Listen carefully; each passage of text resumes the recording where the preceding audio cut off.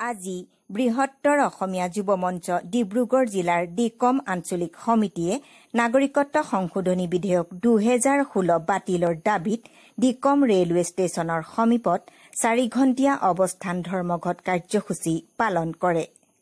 ডিকম আঞ্চলিক সমিতিৰ সভাপতি পংকজ গগৈ আৰু সচিব প্ৰধানৰ সবল নেতৃত্বত আজিৰ কাৰ্যসূচী লোৱা হয়।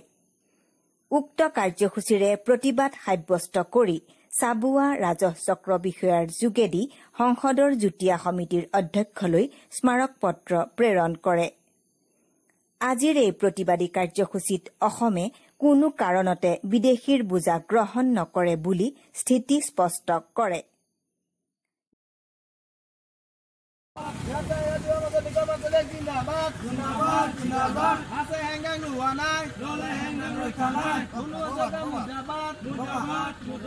Bangladesh go back.